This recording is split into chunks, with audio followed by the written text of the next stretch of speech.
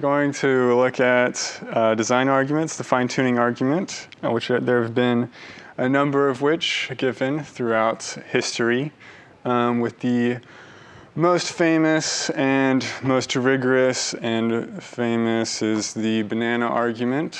It's very well made for the human hand, etc. Um, therefore, God exists, top notch. Uh, up next, we have the Earth being a little bit closer to the sun, we'd burn up. Why aren't we all like Icarus and having us faces melted off? Um, that's pretty neat. We're in the Goldilocks zone, etc. Um, then we have William Lane Craig. He gives a deductive form. Uh, okay, it's either these fine-tuning parameters, either necessity, chance, or design, but it's best explained by design.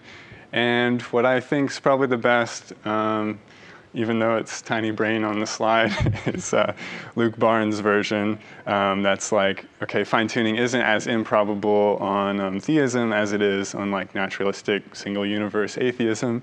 Um, so that's a reason to prefer theism. And after this week, we saw a little, maybe some of you saw some uh, eclipse arguments to the existence of God. Um, you know, favorite YouTuber, Cameron Bertuzzi, etc. Um, that was beauty, not fine tuning. oh yeah, yeah, yeah. That's true. Um, but but okay, so you know the moon is like just the right size so that we can see the sun. You know that's fine tuned but it's like because it's beautiful, blah, blah, whatever. Okay, good stuff. We're going to talk about Luke Barnes here. Um, so this is like a really good resource is his book with Geraint Lewis. Uh, it's a Christian and atheist writing together on the problem of fine tuning. So over the past 40 years, scientists have uncovered a lot of evidence that like if you just change the properties of the universe just a little bit, um, life would be basically impossible. So they kind of survey a lot of the scientific evidence and they engage with some of the philosophical issues at play here and they compare like theism versus multiverse, at least in the last, last chapter. Um, so it's a nice little tag team approach and the last chapter is like a nice little dialogue. Anyway, so I recommend that. Um, it's a really good book. So what do we mean when, we, when I say fine tuning? Short version is uh, the subset of like life permitting universes is like tiny compared to the set of possible universes. So you know these are definitions given by Luke Barnes, John Leslie, and um, Robin Collins. So it basically just looks as if if you change the universe's basic features just a little bit, life would not be able to evolve at all. And I will note that just accepting that the universe is fine-tuned just is to say that the life-permitting subset is like tiny. It isn't saying that it's designed already. That's not like built into the definition or anything like that. Um, so we are going to give an argument from fine-tuning to a designer, but it's not like built into the definition of fine-tuning or anything like that, just to clarify.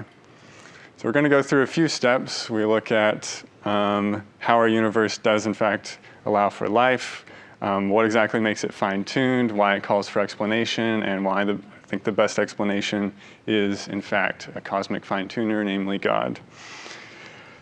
We're going to do this from a probabilistic perspective. So this is a conditional probability with that vertical line there. So how probable is some piece of evidence um, conditional on or given some theory and then some background information.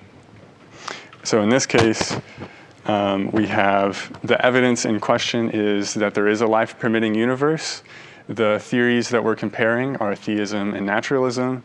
And then the background information that we're going to be looking at um, is kind of like mostly fundamental physics we're going to be um, considering here. So this is kind of the most relevant. This is going to give us some number between 0 and 1. Um, this is kind of how we're framing it. And then the structure of the actual argument is based on Luke Barnes' formulation using like kind of a Bayesian approach. It's the probabilistic approach. He's an astrophysicist and cosmologist over in Australia, has a dope accent. Highly recommend listening to him um, for that reason alone, if nothing else. So for two theories, uh, T1 and T2, in the context of some background knowledge B, so if, you, if it's true for, of some piece of evidence that the probability of that evidence on theory one and some background is much greater than the probability of that evidence on um, given theory two and the background, then that implies that um, that is that the evidence strongly favors theory one over theory two. So in this case, it's the probability of a life-permitting universe given theism in some background. If that's much greater than the probability of the life-permitting universe on naturalism in the background, then the evidence strongly favors theism over naturalism. Well, it turns out that the likelihood is super tiny, vanishingly small on naturalism. This is what we will see here, um, but it's not that incredibly tiny on theism. And so that implies that the existence of a life permitting universe uh, strongly confirms or favors theism over naturalism. That is the general, general structure. Make sense? Cool. Sounds good. So what should be not terribly controversial is, you know, we exist, so our universe permits our existence. I feel like that's a pretty solid inference um, or like piece of evidence. Um, our universe allows for the existence of conscious embodied moral agents. And I think we can agree on that. I will go ahead and you have something to say? That's what I thought. All right, so Um, I'll go ahead and respond to one objection that comes up is it's like, oh, if we change the parameters, it's just like maybe life as we know it doesn't show up, but maybe a different type of life can. And it's like, yeah, sure, necessary conditions for life may be controversial and all that. We can point to some things we know are alive, uh, like this beautiful, cute baby seal. Um, humans are alive, koalas, etc. So I think we're pretty solid there. Yeah, there's some debatable things here. Viruses, uh, that creature. um, you know, the seals in that picture or whatever, they're definitely good, but Michael, you know, I don't know. No, Michael's great. He's cool. Okay. Um, so that's, you know, there's some, there's some edge cases. Um, but I think we can agree that like empty space isn't alive, hydrogen's not alive, and helium is not alive. Um, and I don't think we need to come up with necessary and sufficient conditions for living things to say that like a universe that like doesn't contain anything or only contains hydrogen and helium doesn't contain living things and would not be life permitting. So this so the fine-tuning argument I'm going to be working with doesn't really hinge on having like these strict definitions of what makes a living thing.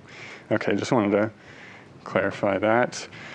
So now we're going to look at the actual tuning um, and what the conditions are for what could allow for life.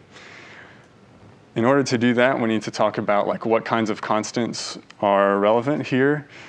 And so some standards for looking at like what kind of constants we're interested in. First of all, we're interested in the most fundamental constants for like our cosmic fine tuning, um, not derived constants. So these would be constants in our most basic theories of physics. So general relativity, quantum mechanics, standard model of particle physics and cosmology, things like that. Um, and so it can't be calculated based on deeper physics. So this wouldn't be things like, you know, the elasticity of like some metal or viscosity of water. Like these things can, at least in principle and sometimes in practice, be calculated um, just based on more fundamental laws and constants, things like that.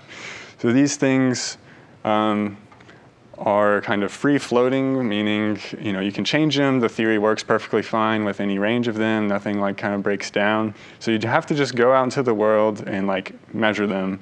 You know, like masses of elementary particles are commonly this type of free floating fundamental constant, speed of light, things like that. So those are kind of the constants we're going to be looking at and are not, not able to be explained by other things.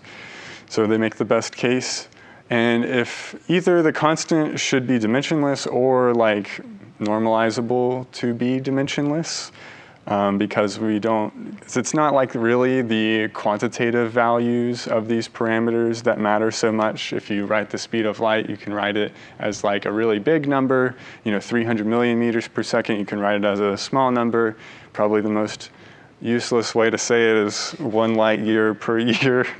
Uh, that's very uninformative, but um, you know, so there's like different ways of writing it, and you want to kind of have it be not not arbitrary, um, or at least be normalized to any, any dimensional constant, you can put it into a dimensionless form. So it's not really like that. that much of a, a thing. Um, so the ratio of two masses is going to be dimensionless. Um, so it doesn't have units of meters. I think one of the examples like football fields per whatever. Okay, so fundamental dimensionless numbers are the best. I wanted to introduce this other concept that's a bit more technical and difficult in particle physics that they talk about, which is naturalness. So, naturalness is about this is going to help inform our probability distribution, um, and that's why I'm talking about it. So, naturalness is about how a parameter changes with energy scale. So, a parameter might be one value if you're looking at like you know, very low energy regions versus high energy regions. So high energy, like a particle accelerator is a very high energy um, context. You know, you have to accelerate those things at massively, you know, like substantial fractions of the speed of light and collide them, you get a lot of energy versus like the average energy contained in like the universe you know, think of the 2.7 Kelvin. There's like not a whole lot of energy relative in that. Uh, that's like negative 454 degrees Fahrenheit.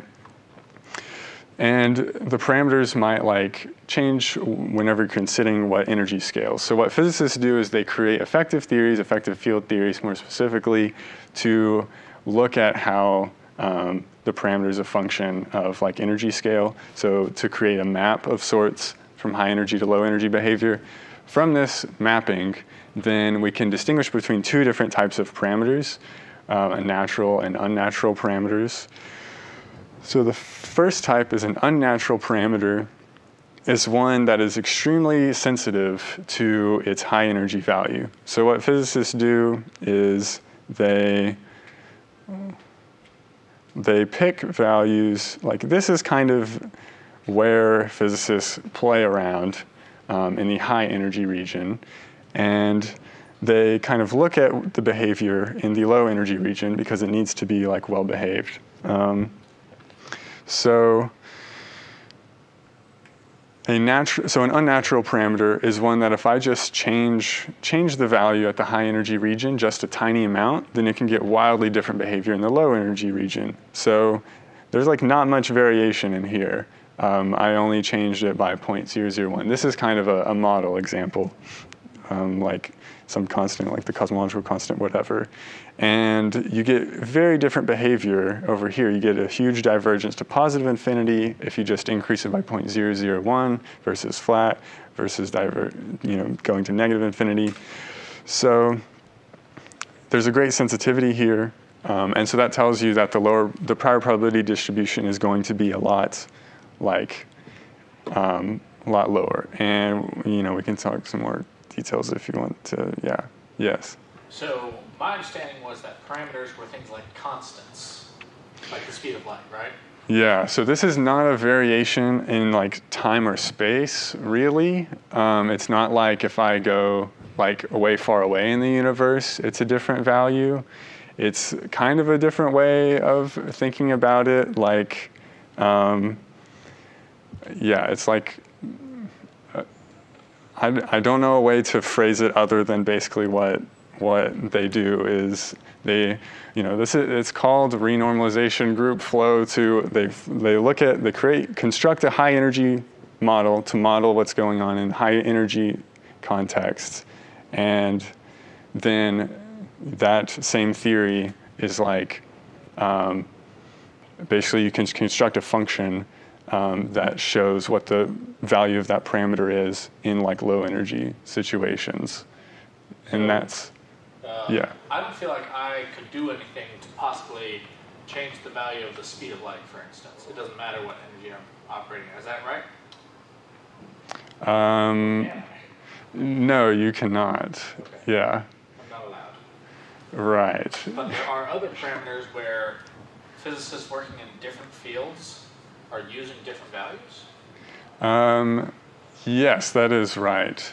so fine structure constant, for example, is, I'm trying to think, I think it goes, I think, if I remember correctly, like particle, so particle physics is considered high energy physics. Condensed matter physics is like low energy physics.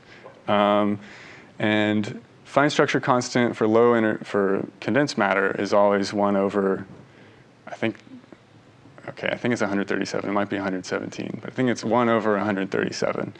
Um, and I think particle physics is more like one over 120 something. Um, so they end up with, so yeah, so you can end up with different scenarios depending on what kind of situation you're dealing with. Okay, sorry to pull us off. We can move on. Sounds sounds good. So so if on the other hand, like the parameter you can you can pick a wide variety on this end of the spectrum and you end up with like the same value over here, it all ends in zero, for example, then it's not very sensitive. And so the prior probability isn't going to be like as high. So that's kind of the, the gist. Um, I mean, more specifically, an unnatural parameter uses a uniform prior probability. Natural parameter uses a log uniform. And, but we can, I can explain more later if someone cares. Okay, so normalization problem. Um, so this is a problem that comes up whenever you talk about prior probabilities and you have these constants that look like, you know, there's not like looks like you can, can, kind of do whatever you want with them, but in, in reality, like you need the probability system to one. If I flip a coin, I can't say that there's like 50% chance it'll land on heads, 50% tails, and then 50% it lands on its side. You don't have a total probability outcome of like more than one. That's just non-physical. So you, whatever you end up doing, you need to make sure the probability sum to one.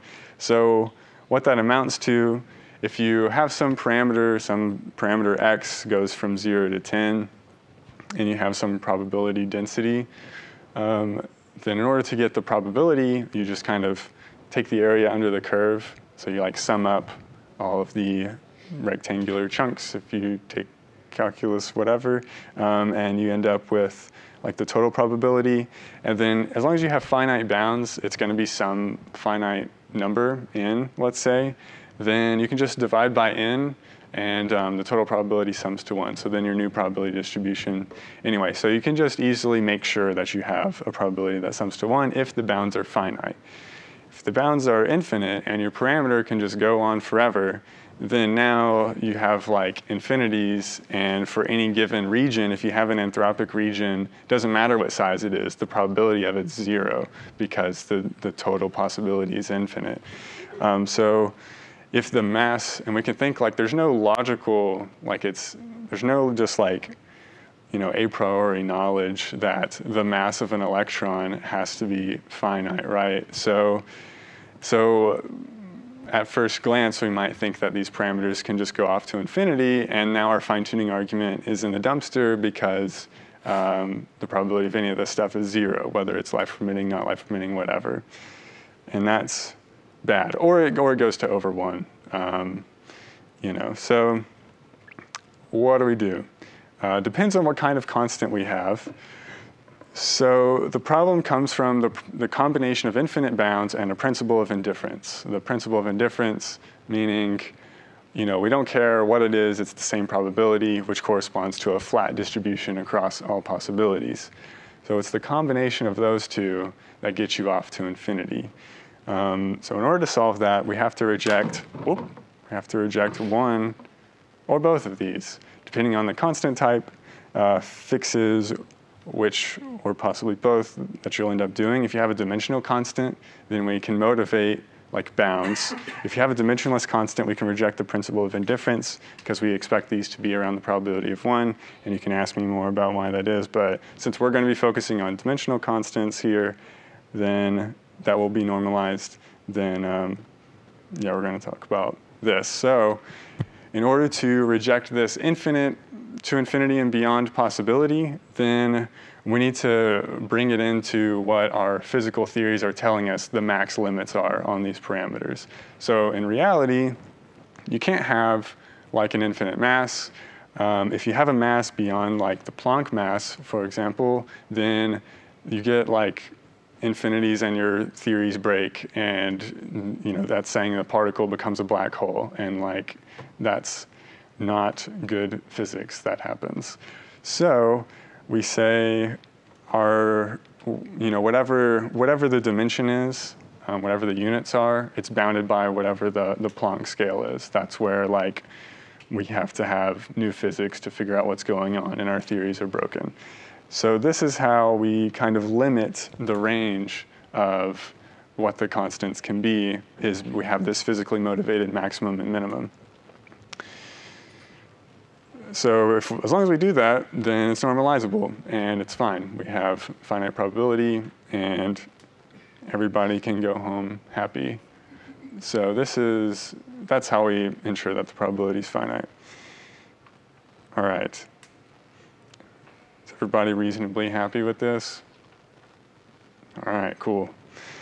So here's two of probably the, who, here are probably the two most solid cases in fine tuning. They've, a lot of work has been put into investigating them, and they're probably the most solid cases. They are unnatural parameters, so you get those wild variations um, that have the, the lowest probability distribution. They are dimensional, so we need to normalize by the corresponding like Planck units to um, like rescale them.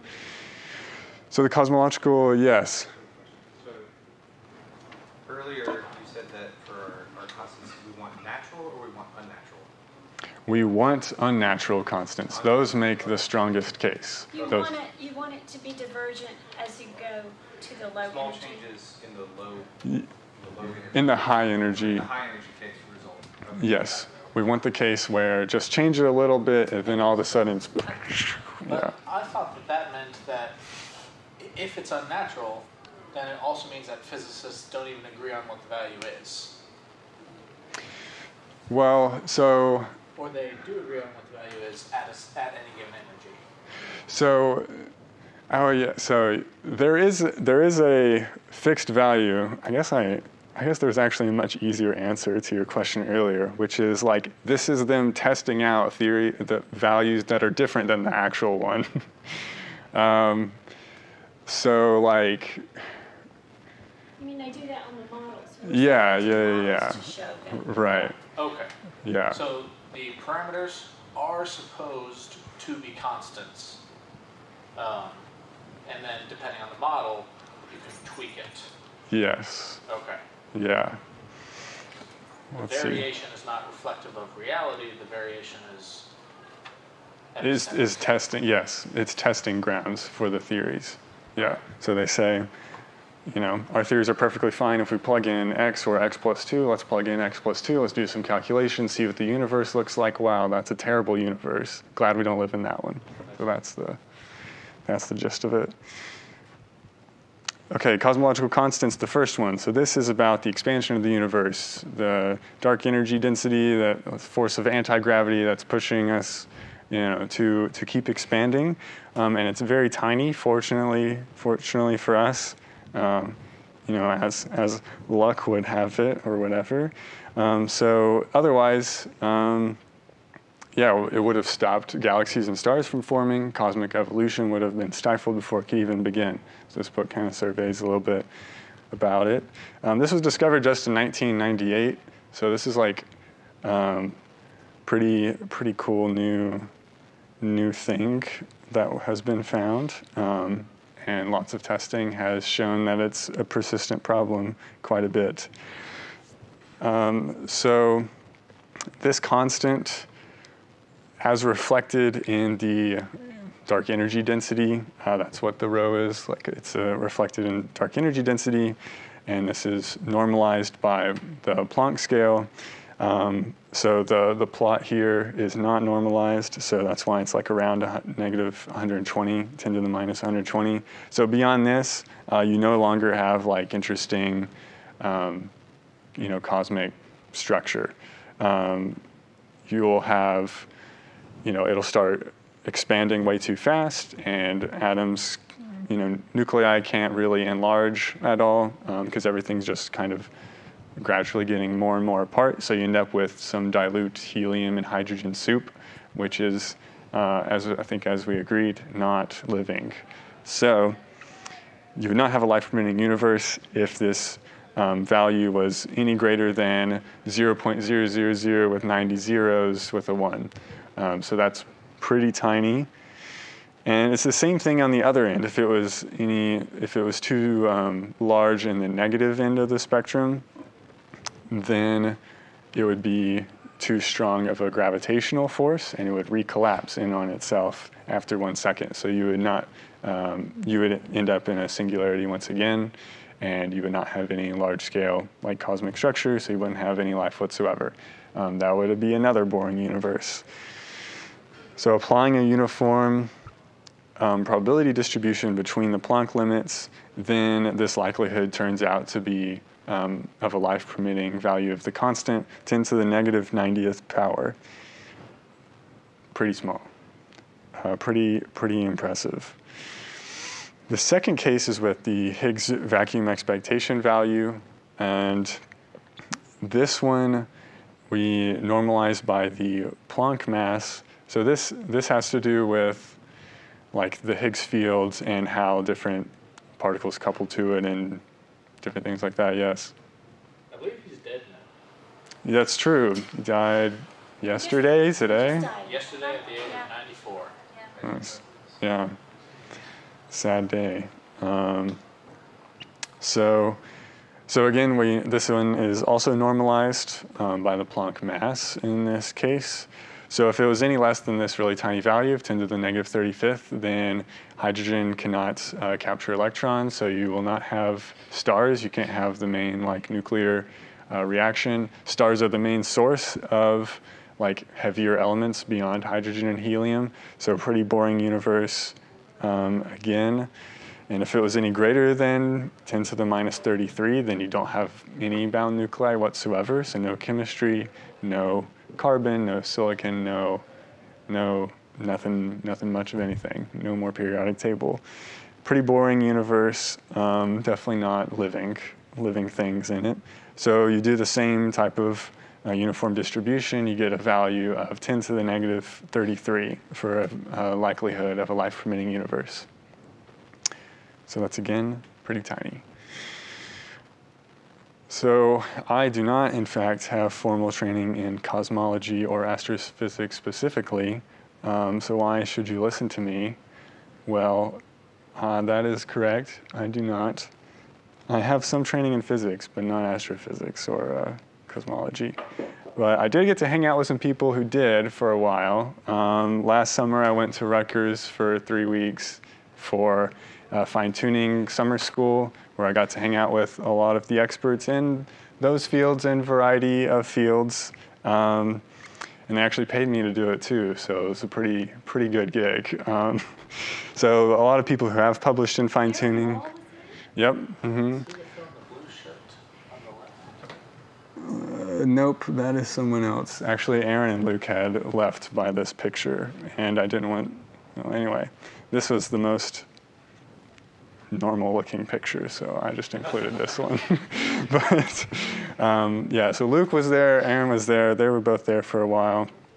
Um, Aaron is the one who introduced all of the naturalness and, and particle physics stuff, and there were some interesting, like, kind of debates between him and Luke on some stuff. So that was cool. Robin Collins was there, uh, Hans Halvorson, Neil Manson, Yoaav Isaacs, John Hawthorne. These people have all published on fine tuning, and uh, so we got to read lots of papers and argue about them, and it was great. Okay, so hopefully I know more than zero. Um, and or you can just think of like there is a pretty general consensus. Um, I'm not going to say universal, but like a, a lot of the uh, majority of um, relevant experts um, in physics, particle physics, do agree that the universe is actually fine-tuned.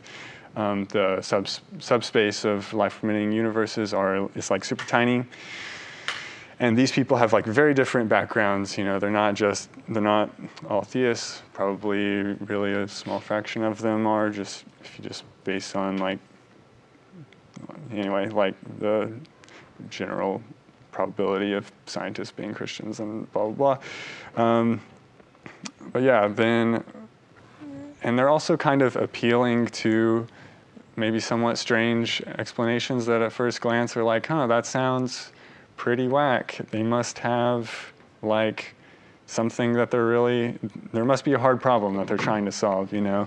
Um, and so given that, like I think that suggests that there's there's definitely something going on. Um, you know, maybe there's something to say about like let's just make up you know crazy ideas to get published and stuff. But I think there's a little bit more to that, given like how much um, how much is going on in, in, physics talk about this. And I guess one little quick note is that um, if you if you want to appeal to like scientific consensus for like this area, then probably should be consistent or at least have really carefully thought out principled reasons for distinguishing them, but um, probably should be consistent if you want to like appeal to skepticism about evolution or like whatever controversial things if you if you're in that boat. Okay, so cosmologists, astrophysicists agree that the universe is fine-tuned. Uh, this is like a real thing that kind of uh, calls for explanation. So we're going to talk about the need for explanation and how how this can um, what this looks like on naturalism. So we've shown that from physics, like the probability of a life-permitting universe is rather tiny, and naturalism doesn't tell us like anything else um, beyond like physics. Like naturalism is generally like, let's look at our best physics and see what it has to say. Um, so naturalism, naturalism doesn't like add anything to that information about what the, what the probability distributions would look like. So we can just use those probability distributions from physics and plug them into naturalism to see what we get, and we get something that is the probabilities that I just shared, which are you know super tiny. So when we combine the two examples, um, the probability of a life-permitting universe given naturalism and then the cosmological constant specifically is less than 10 to the um, yeah 10 to the negative 90th and whereas with the Higgs expectation value, 10 to the negative 33. Combine that, you know, those are independent, so the probability of a life-permitting universe on naturalism um, and with the background is less than 10 to the negative 123. And that looks not super great um, for them. So, but we need to make sure like we better have a better like theory. You know, it could be that our other theory is negative 130. So we want to make sure we look at that. And that's, well, that's a lot of zeros, um, if you can see that. So now we're going to focus on the probability on theism and try to show that it's not vanishingly small as it is on naturalism. So in comparing with naturalism, what's the probability that if God exists and created a universe, that God would end up creating a specifically life-permitting one so what is this probability? Um, well, I think we have good reason to think that the probability of a life-permitting universe if on theism is much larger than um, 10 to the negative 123. So one, I guess one general understanding about theism is that what theism adds that naturalism does not have is intentions and intentionality. That's the main thing. So, um, and then God also on like standard theories. He's all powerful, so he's capable of realizing any of his intentions. So when you put those together, then um, then you end up with like realize, realizable situations of what God wants. Now, what does God want? Well, on standard theism, God is good. Um, also, it comes from our background knowledge that embodied moral agents, consciousness, self-awareness, like these types of things are good. You know, free will, moral responsibility, the kind of um, universe where where people um, can engage in um, lifelong projects and more responsible behavior, etc. Like these are all good things. Um, so this makes us think that God is going to have some reason to create um, a life-permitting universe where there are these embodied moral agents. Second thing is that God is a person, and or at least personal, um, if in fact those can be distinguished. So God is going to be interested in relationships with other persons. Persons are inherently like you know relational and social in nature. Um, so he's going to be interested in relationships with other persons, and so that gives God some reason to promote the existence of persons, and which would which would require life of the sort that would have um, embodied moral agents. So I think these two, I guess these three factors suggest that um, it's not terribly unlikely that God would create, even if you think I guess first you can consider like more weird versions of theism, like maybe God like really likes stars specifically, wants to create stars, or really likes tungsten, or any other like random element or whatever. Like it's still true that because of the situation we just described, most of the non-life permitting universes don't have like any interesting chemistry. They don't have tungsten. They don't have stars. So it still turns out the probability of a life permitting universe, unlike even weird versions of theism, is still vastly more probable than like on naturalism. Even if we consider less than that, like it's we we wouldn't even be able um, to come up with like 10 to the 123rd reasons if we only think one of those is correct or something um, that are like remotely plausible for God to create. So like the probability isn't going to end up being like much less than negative, uh, or 10 to the minus 123. So I think we have good reason to suggest that theism uh, has a higher probability, may, raises the probability of a life-permitting universe relative to naturalism. Okay, this is kind of a kind of a, a, a, model to see what the probability distribution might change as a result of um, when you factor this stuff in. So this is just kind of a, a, way of thinking about it. So consider some parameter, let's say it varies from 0 to 100. The anthropic range is from 25 to 50 then we assign like a uniform probability distribution as we have been doing. Um, and then we have like that anthropic range. And then we, we think about what the, what the probability would look like. Um, it's going to turn out to just be the number of possible life permitting universes divided by the total of total number of possible universes, which in this case is just one fourth of the, the possible landscape is life permitting. I guess this is assuming naturalistic single universe atheism, using atheism as a shorthand for that. Um, whereas theism, on the other hand, looks a little different. It kind of shifts the probability. Um, so what I mean is you have this probability density function, then it's going to kind of smush the probability into the anthropic range. Like that's kind of what would be like the way to think about when you add intentions, when you add a desire for like life, um, for relationships, for moral goodness, uh, then it's going to squish that probability so it's like focused more so in the anthropic range. And what this can amount to is this multiplicative factor of the probability. I just call it the life interest factor that arises from God being personal and good. So he has these like interest, desires in um, promoting the creation of life for embodied moral agents. So this is kind of, you know, I didn't draw, that's not exactly symmetrical standard distribution there, but I tried my best. Um, but this is, this is like how to think about it. Um, so if this life interest factor is much greater than one, then the probability of life permitting universe on theism is much greater than on atheism. Yes, David. Does the idea of God being a necessary being factor into like the idea of possible universes at all? Does that mess with the math in any way, or is it just kind of not really relevant? Hmm, it's a good question. I would think, like, if God let's see, because mapping between possible worlds and universes isn't always straightforward, but if God is like super contingent and that like he wouldn't exist in some of these other possible worlds, it depends on which worlds that we would think.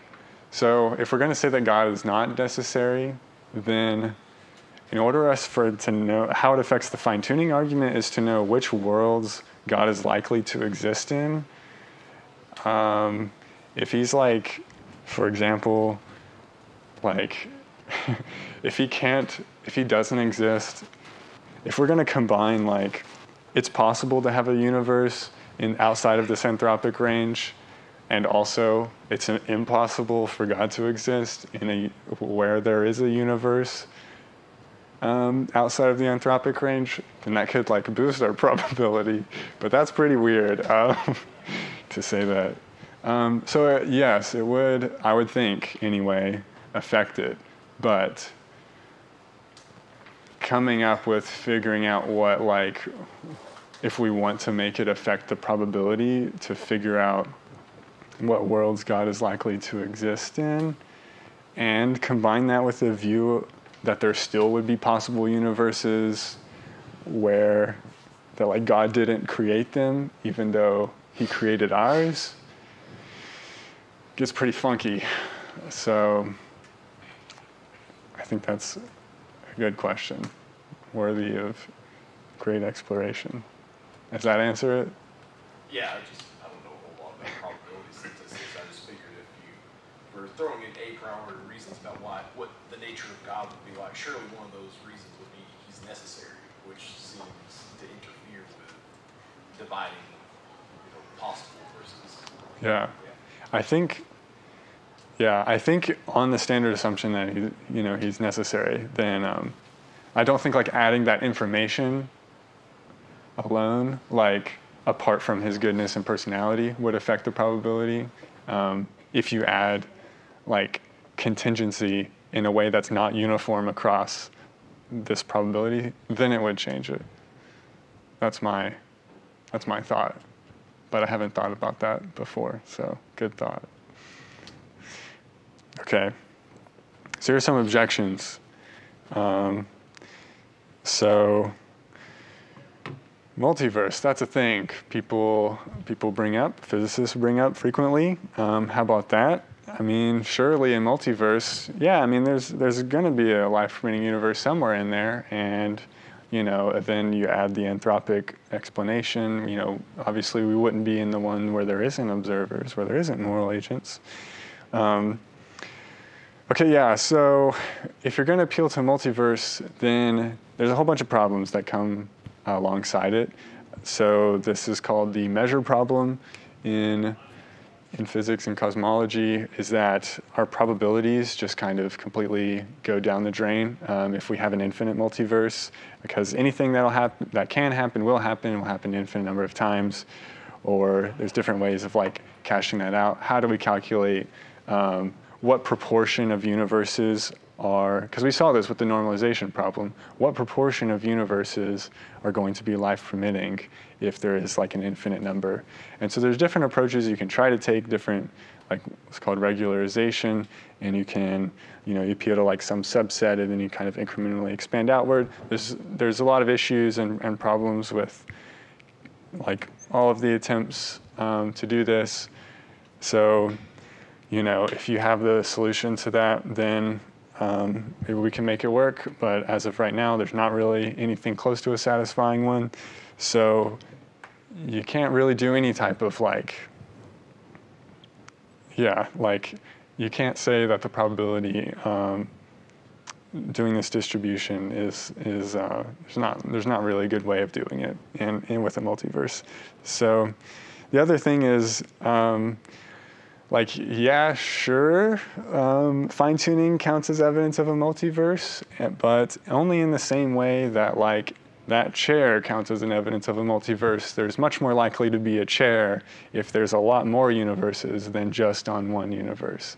You know, so then it's just everything becomes trivially evidence of a multiverse because if you have more chances, uh, there's just more chance that something's going to happen um, than if you only have one thing happening. So, um, so this is like kind of a genuine issue, and it's hard to get through. Um, so this is a this is a paper that kind of explores some of the issues at play here. This is called self-locating evidence, and there's different proposals on like what do you do with this, with the kind of evidence that um, like makes inference to a multiverse, and it gets really technical. And there's also similarly problems with like each view, including the ones that avoid like in evidential inferences to the multiverse. So I think they're kind of um, there's definitely yeah basically like our epistemology again goes in the garbage if we're going to say fine tuning argument is like fine tuning is really good evidence of a multiverse. And you can think of this is what Luke Barnes calls like his uh, awesome theological argument. So if you consider the case where you know the stars or something spells out in the sky like the first for 14 verses or 16 verses of John in Greek. Um, if your theory doesn't say that that is evidence of God's existence, then you have a garbage theory, because obviously that is evidence of God's existence. Um, and the multiverse, it seems hard to even make that happen, and so that makes it not like a good theory. So this is another kind of um, manner of reasoning that Luke's given that I think is uh, I think is quite nice. Um, depending on your multiverse model, so like eternal inflation is kind of one approach. Then at least some of these just end up pushing back fine tuning a step. Um, you have to like, for example, if you have inflation, then you have to make sure it doesn't inflate for like too long. This is a period of like very rapid expansion. This is proposed to help explain some of the other problems like flatness and things like that.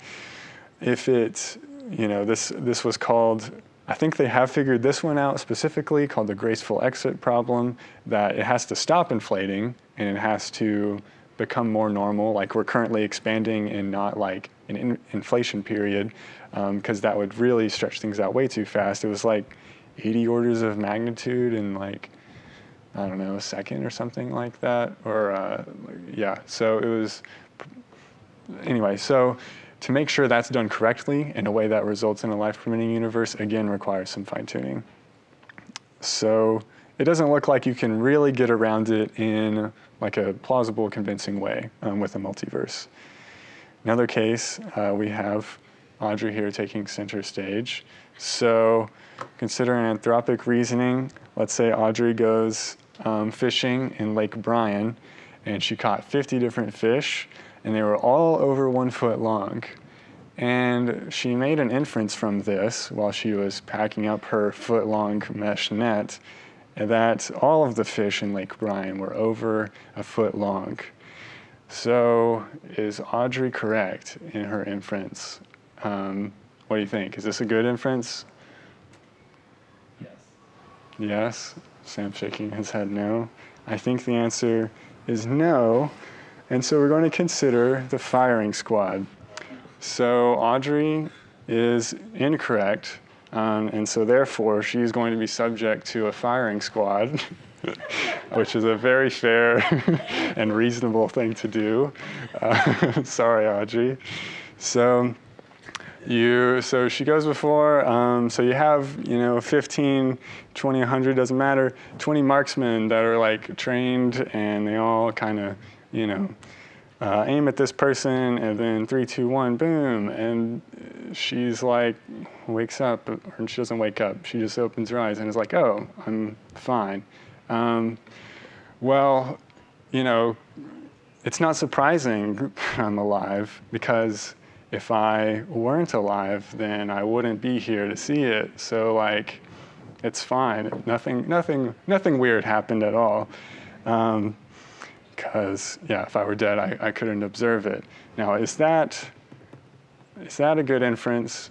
I think I think no. I think we should um, question that and and think about what else might have happened and consider alternative explanations, such as they were firing blanks or they're, you know, they were intentionally missed because they didn't want to shoot her for probably not a very good reason for subjecting her to that in the first place, etc. So there's probably other better explanations. Um, so yeah, so this type of anthropic reasoning I think can be a bit a bit um, dubious and doesn't actually answer like the question. You know, there's there's other candidate examples um, like why you know, why does a plane get pressurized at one atmosphere? Um, well, you know, it's because like I'd be dead if it if it wouldn't. Like that's why I observe, and that's also like not a good explanation. There's you know pumps and all that stuff, and then then why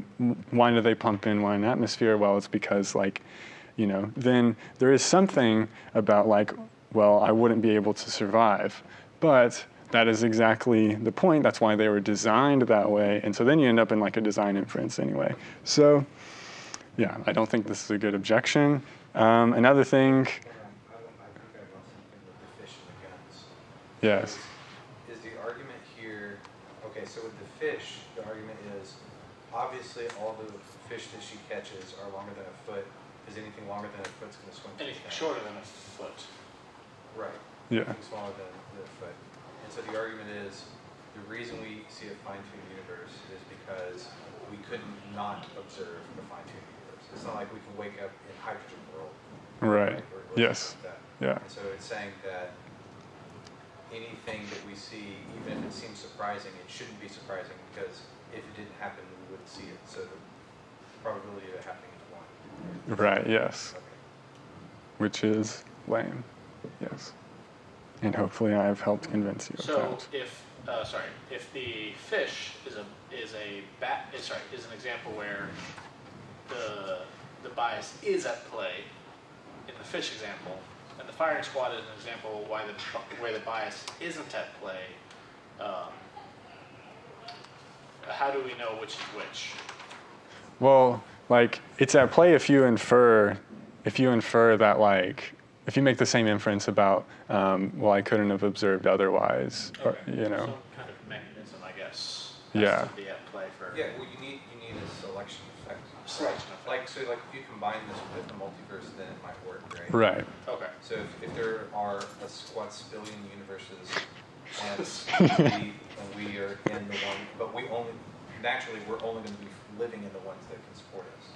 right? yes, yes, Put another way, like, if, if the net of death comes over us, obviously we're the small fish or whatever, right? yeah, Yeah. But you, you can't, you, but you can't, you, you can't, you have to have both of them, right? yeah. Yeah, the combination of the two is probably pretty reasonable. You know, there are some objection, like that this universe objection, you know, and then there's there's been a lot of back and forth, and I'm not sure that's convincing. So, okay, so maybe we don't have a theory of everything, um, but when we do, that's going to get rid of it, right? Um, I don't think I don't think so. Um, I think everything that we look at doesn't, you know, suggest suggest that's not the case. So we can look at the cosmological constant some more, or we look at different proposals, like different dark energy proposals. They kind of all have these like weird cancellation and, and orders of magnitude that's very surprising. Um, cosmological constant isn't zero. Zero is like a nice number that might be explained by symmetry. Um, there is some aspect like supersymmetry can can um, cancel out some of them. So the order of magnitude is 10 to the negative 53 um, instead of 10 to the negative 90th. This is this is if you have supersymmetry, but you know searches for support for supersymmetry have not been very um, compelling thus far. So, but that's a possible help. Um, but it's not completely solvable. It's also not solvable by quantum gravity because instead of just at the high energies, you can also get the problem at low energies. So, um, or at lower energies. And so, and we continue to discover more and more fine tuning. People are still like publishing papers about it all the time, like, um, you know, finding, finding in, inter, interdependent effects and, you know, the cosmological constant's even a recent thing. So it doesn't really look like this is going away. And, you know, in theory, I'm happy to say that we might need to update on our evidence in the future. But um, until then, I think we're pretty solid. Okay, what about if we want to be a weird atheist, perhaps like Philip Goff is? Um, so if theists say we're going to add this hypothesis, God likes life, then I can say that too as a naturalist. So one version of this, axiarchism, says things exist because it's good for that they exist. Um, that's why the universe exists. And um, sounds pretty cool, a little bit weird, but cool. Um, so I think there's two things. Well, it's good that God exists. So if it's good for, you know, if things exist, if they're good, then like God exists. Okay, so we're still theists if we're axiarchists. Um, another thing is like, theism can just explain why axiarchism is even true in the first place. Uh, like, why would it be that things exist? Well, God can bring about good things, and that's why they would they would exist. So that's that's kind of it's just like a deeper explanation of and a better version of axiarchism. So if you like that, then just be a theist anyway. So yeah, that's that's the gist of it. Here's some recommendations. Luke Barnes with the double whammy, and um, and the more physicsy thing at the end. So yeah, thank you.